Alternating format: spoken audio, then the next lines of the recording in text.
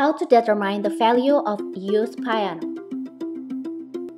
Buying a used piano.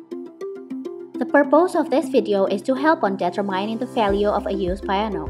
Appraisers of used pianos and other consumer goods typically use three different methods to determine fair market value comparable sales, depreciation, and idealized value minus the cost of restoration. The comparable sales method compares the piano being appraised with recent actual selling price of other piano of like brand, model, age, condition, and location. Depreciation A depreciation schedule such as the one in dealer shows how much a used piano is worthy as a percentage of the actual selling price of a new piano of comparable quality.